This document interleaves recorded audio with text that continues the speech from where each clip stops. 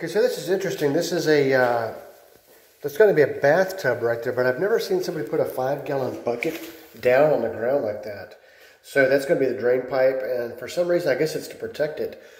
And then, uh, sign of a good quality shower, they use this concrete backer board or the cement board, and they go pretty high up. I probably would have gone all the way up just to waterproof pretty good. Also, it sounds kind of crazy, but I like to fill those void areas with insulation so that you don't hear uh, a lot of noise if you're in another room. But this is uh, perma-base cement board, and they did a pretty good job with it. And then once again down here, they did this five gallon bucket with that drain pipe. So that's gonna be where your shower pan is. And the whole wet area gets that perma-base cement board. Uh, once again, that's a sign of a good builder that does that.